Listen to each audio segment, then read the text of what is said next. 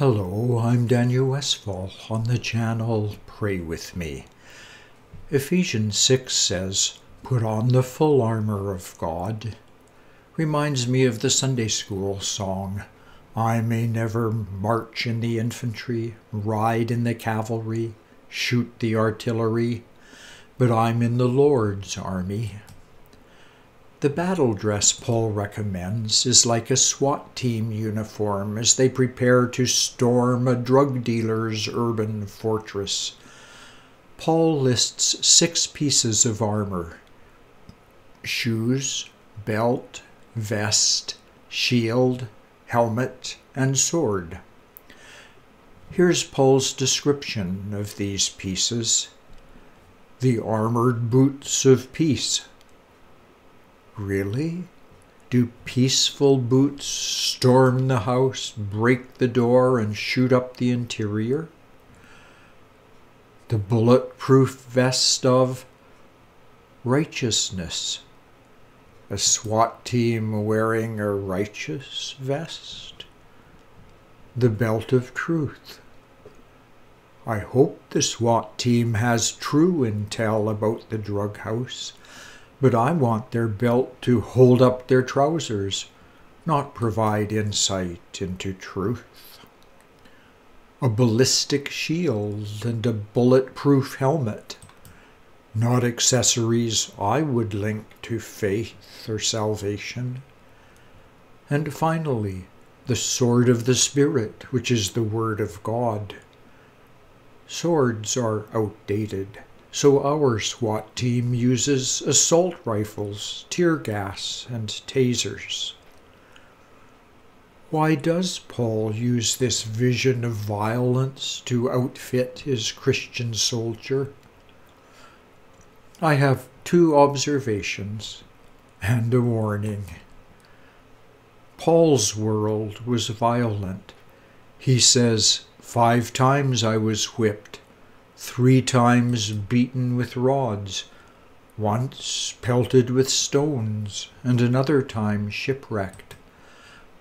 Paul doesn't blame the devil and his army for the violence, but he does say, Our battle is not against flesh and blood, but against the rulers, authorities, powers of this dark world and spiritual forces of evil in the heavenlies. The source of violence was not simply the Roman soldiers who imprisoned Paul and the Jewish elders who had him flogged. There was a larger picture of evil that includes an unseen hierarchy of invisible evil forces. Jesus said, the kingdom of heaven suffers violence, and the violent take it by force. Paul and Jesus both used metaphors of violence to describe the Christian's place in a violent world. A second observation is that Paul's instruction is not for us to form Christian SWAT teams and invade heavenly territories held by evil forces. Instead, he tells us to stand firm. Our armor, including the sword or assault rifle, does not prepare us for a conquest of enemy territory. It enables us to stand firm in the faith. Which leads to a warning. Some teachers and prayers try to map out the geography of darkness name the hierarchies of evil and fight them. Well, this fits our SWAT team analogy.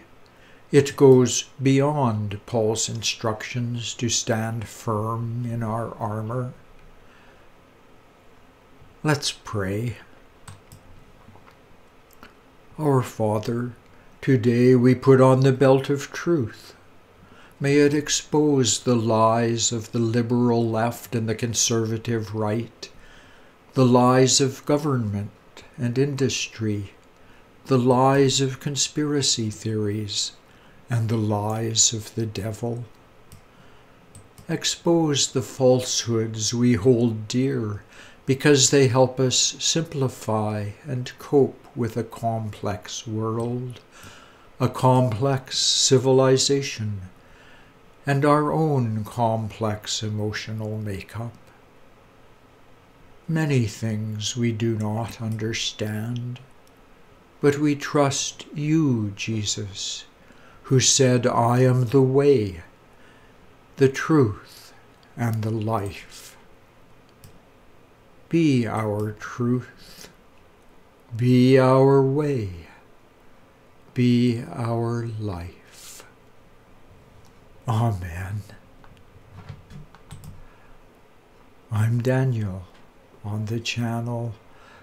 Pray with me.